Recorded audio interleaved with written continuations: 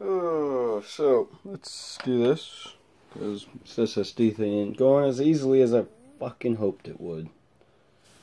Oh my god, I fucking hate this shit, dude. Fucking hate it. Like, fuck off. Really now? Okay, so let's just restart it, right? Let's, you know, do the whole proper thing, because, like, none of my fucking drives are booting. Like, I kind of just corrupted the windows on all fucking two of them. Like, so now I've got to do this shit. And god damn it, I missed the opportunity.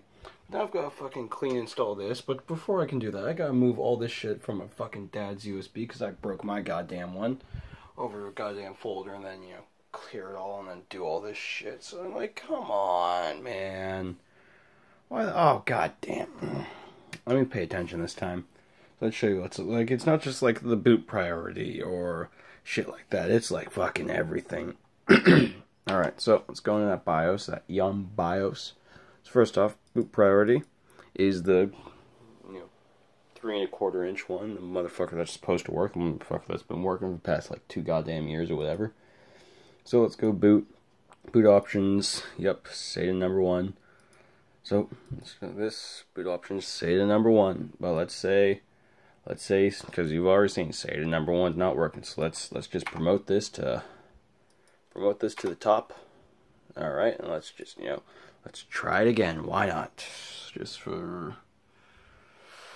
Oh. Also, a red uh, data cable. Like, come on, how tacky is that? It doesn't even match the rest of them.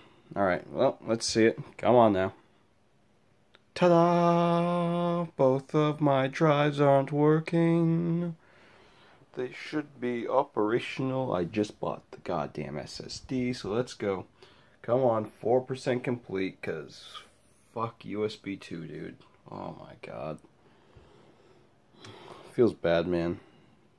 Also, I had to like delete so many things. Like, I moved a bunch of this stuff over to this second hard drive in here, and then just uninstalled game after game after game to make it fit on the 240 gig SSD I bought. But Jesus Christ, dude. Oh, that's been. It's been rambly, but. Oh, I've had a hell of a day.